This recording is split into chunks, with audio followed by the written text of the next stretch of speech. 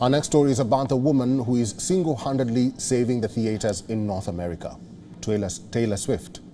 As predicted by various trade analysts, Taylor Swift Eras Tour became a roller coaster ride at the theaters. The concert film made a cool sum of 39 million US dollars on its opening day. The movie has become second biggest October opening day ever behind the 2019 comic book drama Joker, which earned 39.3 million US dollars. Initially, the Eras Tour was set to lift the curtain on Friday, the 13th, an important number in Taylor Swift's lore.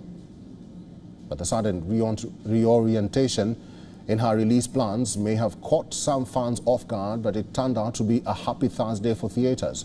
As, with, as per the predictions of trade analysts, the Eras Tour can earn around 1.25 million US dollars over the three-day frame.